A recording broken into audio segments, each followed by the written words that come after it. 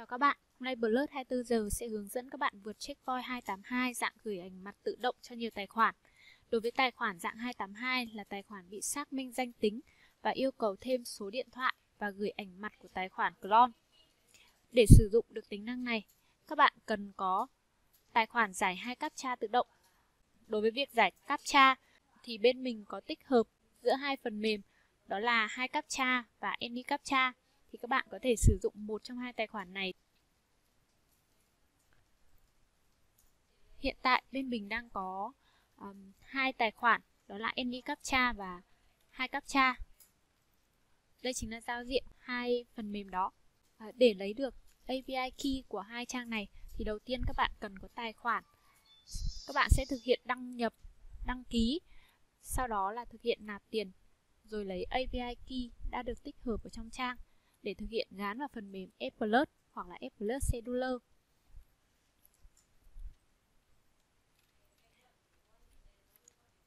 Đây chính là API key của trang AnyCaptcha.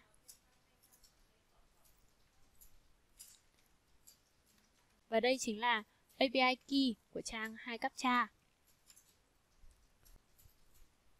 Các bạn sẽ thực hiện nạp tiền vào trang hai captcha hoặc là any captcha để thực hiện lấy API key để gán.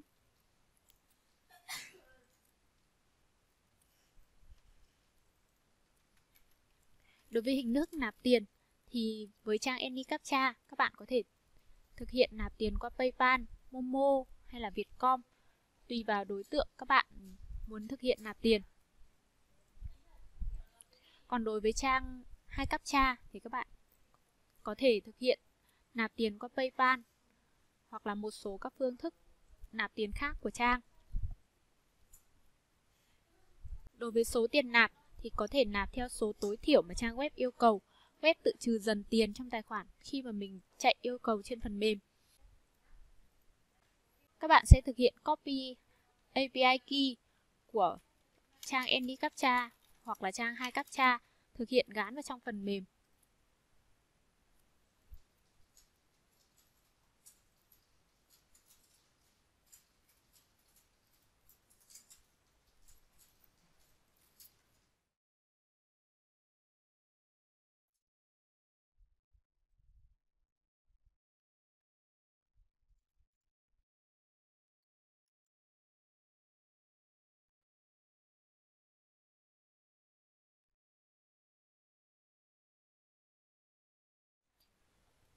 Các bạn sẽ thực hiện.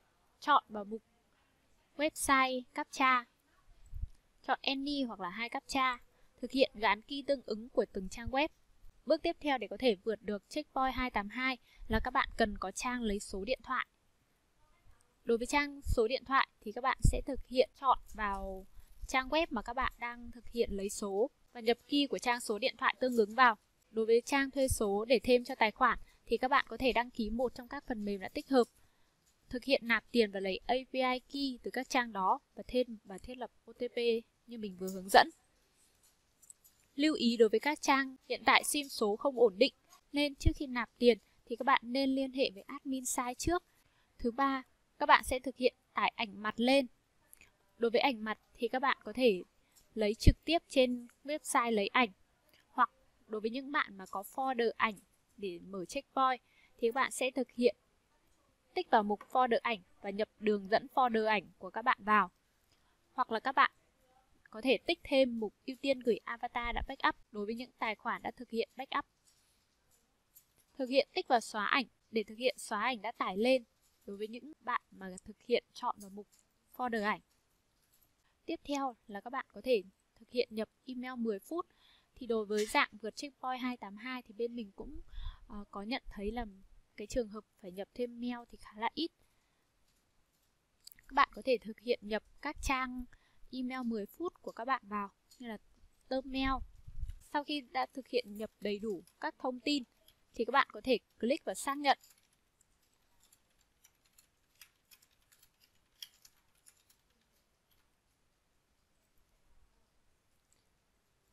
Sau khi đã thực hiện thiết lập xong, bây giờ các bạn sẽ tiến hành vượt checkpoint đối với những ạc mà bị xác minh dạng 282. Ở đây mình đã có một danh sách những tài khoản bị checkpoint dạng 282. Tại đây, các bạn sẽ thực hiện chọn thiết lập số luồng chạy song song. Thực hiện chọn trình duyệt chạy, ví dụ như là W, M Basic hay là M. Đối với những bạn mà thực hiện chạy vượt checkpoint nhiều tài khoản cùng một lúc thì các bạn nên thực hiện thêm công cụ đổi IP. Thực hiện tích vào reset.com sau khi check để tiến hành đổi IP trong quá trình chạy.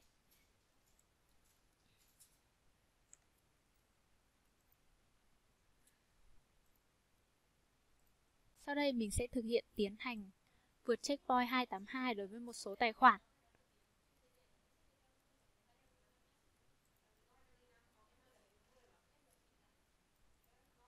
Các bạn sẽ thực hiện bôi lên các tài khoản, chuột phải, chọn vượt checkpoint. Thực hiện chọn vào mục vượt checkpoint 282 gửi ảnh mặt. Tại đây thì mình sẽ thực hiện sử dụng trên trình duyệt M. Thiết lập lại một lần nữa. Kiểm tra xem các thông tin đã đúng như bạn đang muốn lấy hay không.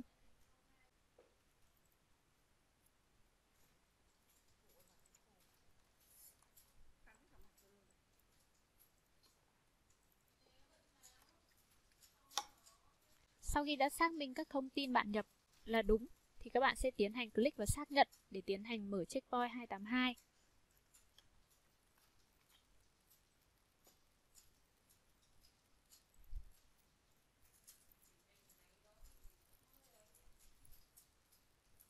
Đối với dạng 282 thì một số A của mình đã được tiến hành vượt qua bước captcha và nhập số di động luôn, hoặc là một số ạc đã thực hiện tải ảnh lên luôn.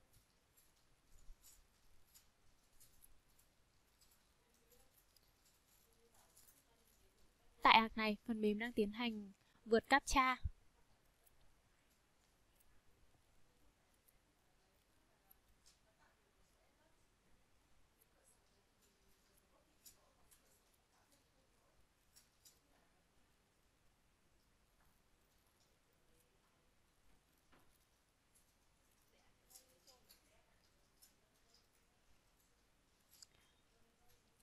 Tại tài khoản thứ hai, phần mềm đã tiến hành nhập số điện thoại nhập cốt và tiến hành gửi ảnh.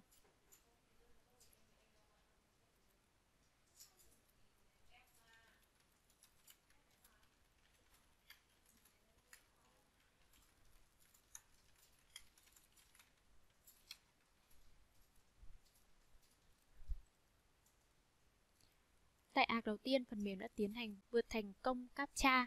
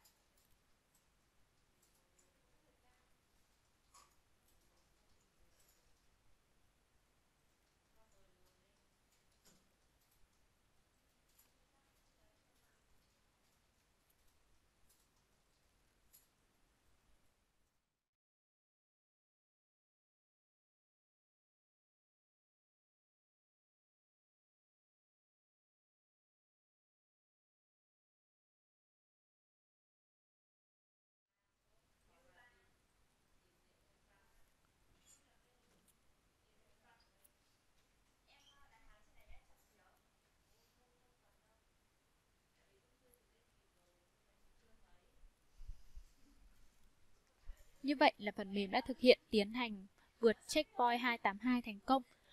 Lúc này Facebook sẽ phải chờ để duyệt thông tin của các bạn.